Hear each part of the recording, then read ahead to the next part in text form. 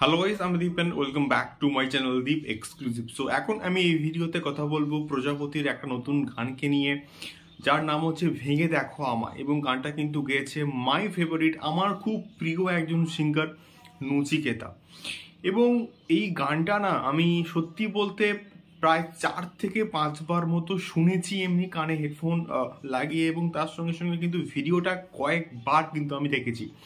এবং যতবারই আমি যখন গানটা শুনলাম বা দেখলাম ভিডিওটা, আমি কিন্তু টু বি অনেস্ট আমি মন থেকেই বলছি আমি একটা অন্যরকম কিন্তু ভাইবস পেয়েছি এবং অন্যরকম কিন্তু এটা ফিল করতে পেরেছি গানটার শুনে এবং দেখে এবং গানটার মানে লিরিক্সগুলো এত সুন্দর এত সুন্দর এবং তার সঙ্গে সঙ্গে নচিকেতার যে ভয়েসটা এতটাই সুন্দর লাগছে গানটার মধ্যে। আমি just I just can't explain আমার গানটা সত্যি বলতে দুর্দান্ত লেগেছে এবং আমার, আমি যখন এই ভিডিওটা করছি, আমার কিন্তু গায়ে রীতিমতো জাস্ট কাঁটা দিয়ে উঠছে।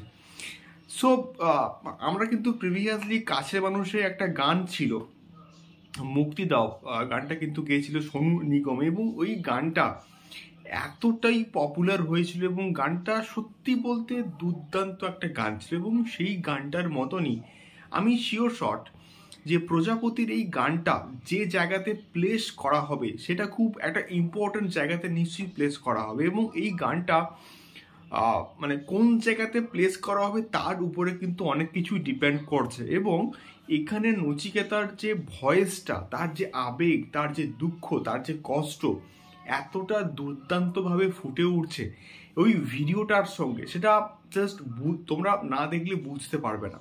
তোমরা জাস্ট দেখো গানটা, শোনো, মন দিয়ে একটা অন্যরকম জগতে কিন্তু পৌঁছে দেবে এবং আমি এখানে বলব যে প্রাথমিক অবস্থায় কিন্তু আমার আমাদের অনেক গান শুনতে ভালো লাগে না। আমরা যখন বারবার শুনি, শুনতে শুনতে কিন্তু গানটা যখন সেই লিরিক্সগুলোর আমরা যখন মানে বুঝতে পারি না, তখন গানটা আমাদের ভালো লাগে এবং আমাদের কিন্তু একটা প্রিয় গান হয়ে যায়। এবং এই গানটার তোমরা যদি মন দিয়ে শোনো তার যে লিরিক্সগুলোর মানে যদি একটুখানি বোঝার চেষ্টা করো তোমাদের কিন্তু গানটা শিওর শট ভালো লাগবে এবং নচিকেতা এখানে অন্য মানে রকম অন্যরকমভাবে কিন্তু গানটাকে গেয়েছে।